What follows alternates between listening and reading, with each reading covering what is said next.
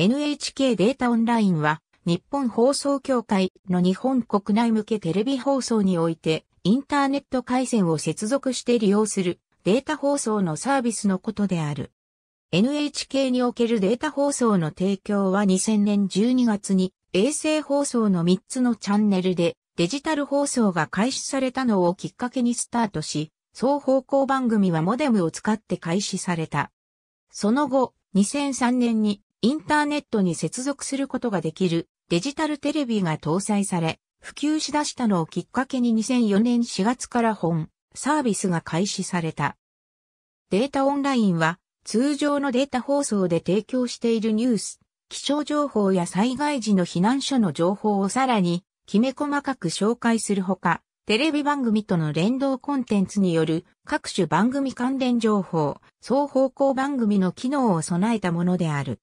特にニュースは地上波では各都道府県別に配信しているローカルニュースを閲覧できるほか、気象情報では住所登録している場所の天気を半径 5km 範囲内で詳細に伝えるメッシュ予報のサービスも提供している。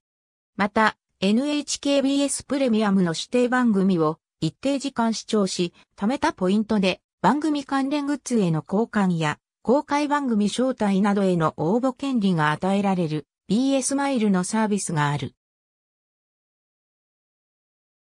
なおこのサービスはネット環境の飛躍的進化が進んでいることを踏まえ、サービス内容を再検討するため、サービスそのものを2017年4月28日正午をもって終了することになり、それに先駆けて対象番組へのマイル付与のサービスを2016年12月22日、正午で終了することも決まった。さらにこれとは別に NHK ネットクラブとも連動しており、ネットクラブホームページからマイテレビ登録の申請を行った上で、連動データ放送を活用した連続テレビ小説、大河ドラマのスタンプラリーや、各種番組のネットクラブ会員限定、双方向サービスなどを受けられる特典がある。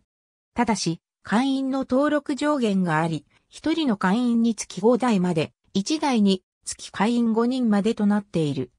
放送、通信の連携テレビは、もっと身近に、ハット NHKBS ネットサービス、BS ネットサービス終了のお知らせ、NHK ネットクラブ、マイテレビ登録。ありがとうございます。